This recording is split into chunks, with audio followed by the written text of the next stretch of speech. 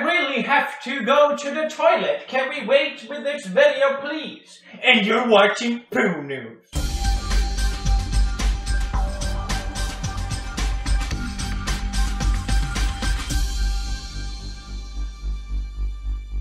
Apparently, I have been pissing people off left and right lately. Ooh, what did he do? What did I do? A few days ago, I did a video where I tested out an eye tracker. Basically, you could see where I'm looking at on the screen. So I asked people to send me videos of what I should look at. And of course, people send me Twitch booby streamers. And I very jokingly just said out random in the video, stupid Twitch thots. Stupid Twitch thots. Some pretty hardcore stuff. I definitely understand why people can see that in a very, very negative way. Well, as it turns out, a streamer named Alinity had a few things to say, or do about it, rather. Happens? This is so annoying. Stupid Twitch thots. I just feel like they, they win over me, okay? And they're not gonna win over me. Stupid Twitch thots. No. Se- seriously? He just said that? I'm gonna copy strike this guy. Just for that word. Gonna copy strike him. Yo! Can we copy strike PewDiePie's latest video? Like right now? He called us Twitch thots. Now, I did see this very soon after it, it happened on the stream. Uh, my intention is never to upset people with videos. I uh, I decided it was easier to just cut her out. But before we were able to do that, the video did in fact, yes, get copy striked. Swing and a miss, he struck him out. To me, thot is such a memeable word that it doesn't necessarily have any negative connotation with it. I definitely didn't mean it in a negative way. It's just a joking word. But I do want to apologize to Alinity and be clear, it was never meant to hurt or upset anyone. Alinity had a big problem with me using this word. Just like everyone else that watched it, were devastated. Yeah, honestly, the fact that I was in his video is crazy. Now, we weren't sure if it was uh, Alinity that actually did the copy strike. Swing and a miss, he struck him out. Or if it was just some random claim, because I get those all the time anyway. But the day after, she made a follow-up to this, where she sort of boasted about, yeah, it was me, guys. Now, again, I can't show the clip, but and I don't recommend anyone to watch it because it's probably the most unlikable clip I've seen of anyone ever. She sits with a bowl of spaghetti smacking away going, Yeah, I wasn't gonna head him. You couldn't get more stereotypical than this. This is legitimately the transcription. I was gonna send, I was gonna send, I have somebody that copy strike and hits a company. It's called Collab and uh, they they send me seven hundred dollars last month from Copy Strike, hitting people. Good money. Yeah, good money. Copy striking people.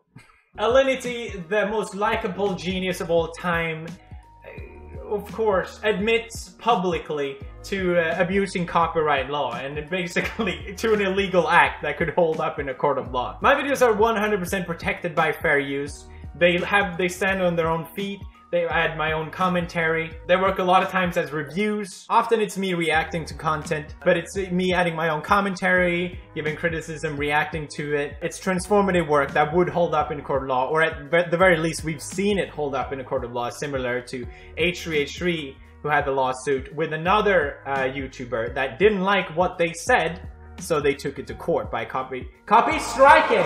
Swing and a miss, he struck him out. Uh, which is very similar to what happened here to a to a much less full extent, where uh, she didn't like what I said, so she wanted to take down my video, or at least claim the good money for it. Now, I'm used to dealing with this sort of stuff. I, there's opportunistic people all the time. I've lost revenue out of videos because of the background track that uh, was a parody of someone else's track. Long, a lot of things happens all the time. I've had literally two two second screen clip getting claiming all the revenue of the video without saying what caused it. And it, this just shows to me how how easy it is to abuse YouTube fair use law. Just and to see someone boast about it so publicly and arrogantly.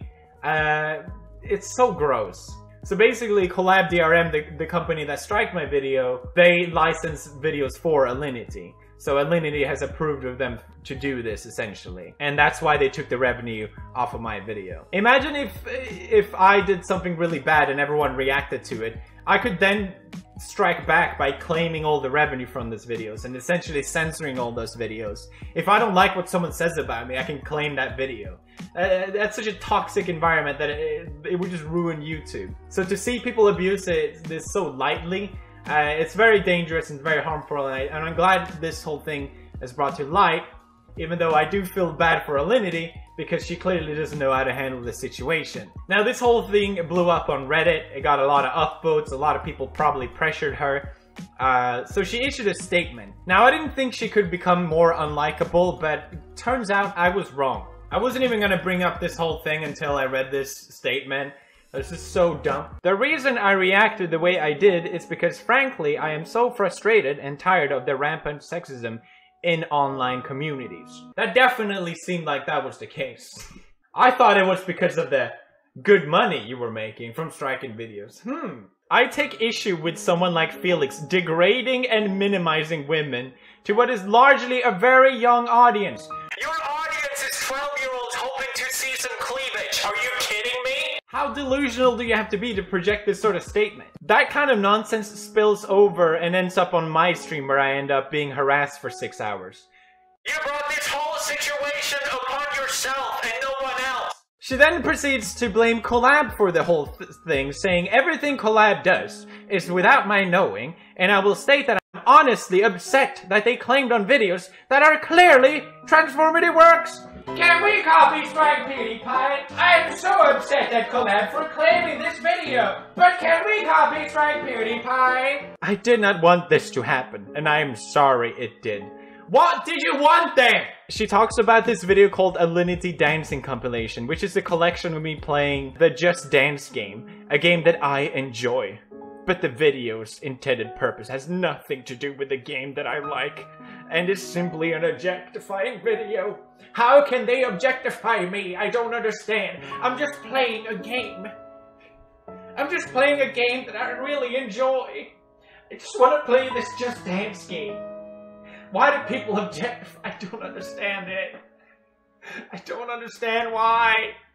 She then deleted this statement. I assume it didn't get the reaction that she was hoping for. And then finally, she went on Philly D to talk about this whole ordeal. The, the, what I meant is like the only thing I know about how that works is that they pay me. So essentially, because she felt powerless.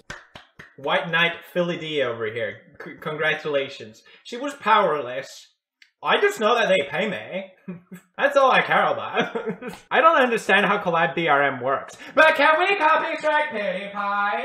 I don't understand how I'm getting paid. But can we copy strike PewDiePie, by the way? She didn't know.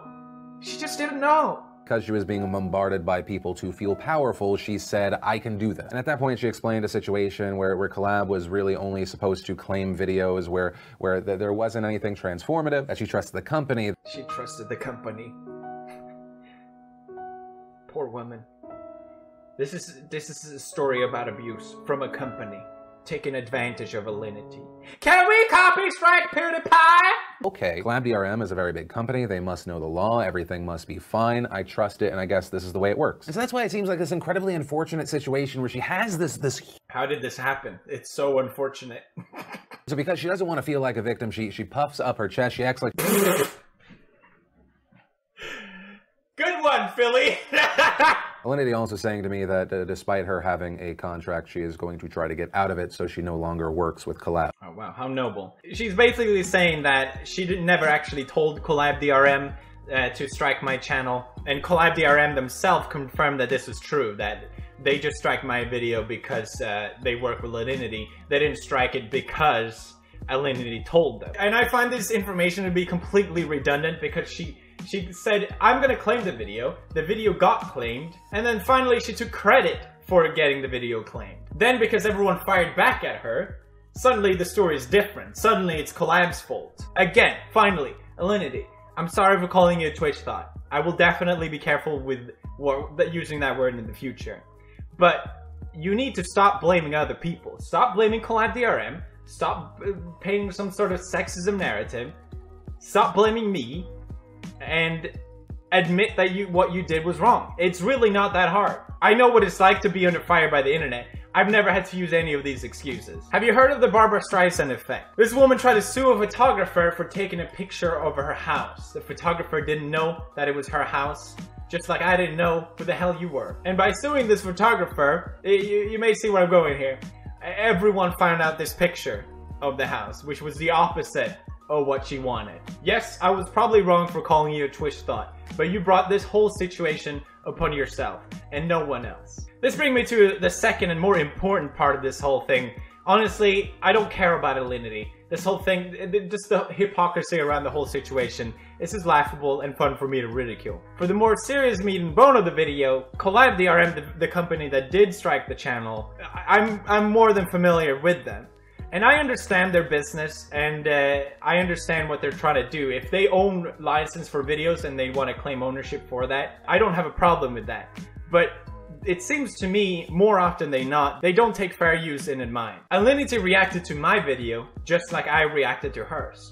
Why can you? Why can they claim all the revenue for my video for that? For a four second clip. They admitted afterwards that it was a human error. But it really wasn't. This happens all the time. I've had, like I said, I had two second audio scream get claiming all the revenue of the video, which has nothing to do with the video. I've had just one image appearing for a few seconds, claiming all the revenue from the video. The way fair use uh, and the copy strike system works right now is that if company claims your video, you can appeal it, but it's basically up to that company to then say yes or no. And of course they're gonna abuse that power. Of course. They, they hold too much power at this point.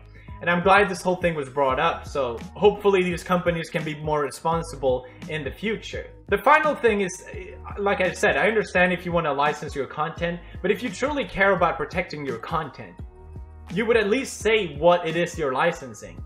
If you go to Collab DRM's website, they say, receive the claim, my videos is fair use, why did you claim it? None of this is true, and if you go on, can you give me uh, the exact time of my infringement? Seems fair, right? If my video got claimed, I at least get to know why it got claimed. But no, our job is to help creators control their content, not to help infringers avoid claims. I'm a creator. You're not helping anyone. You're just taking revenue. This is a perfect example of uh, these patent companies that abuse patent laws to claim revenue instead of just protecting the product. It's the exact same thing happening but with video content. And since YouTube doesn't want to go in between of it, these companies abuse this power. And this is one of the cases which led to this whole ordeal. Alinity knew she had this power, and that's why it became so transparent in this case. I think YouTube should really ought to make it so that you have to say what part of the video got claimed, or at least give an option to mute that video.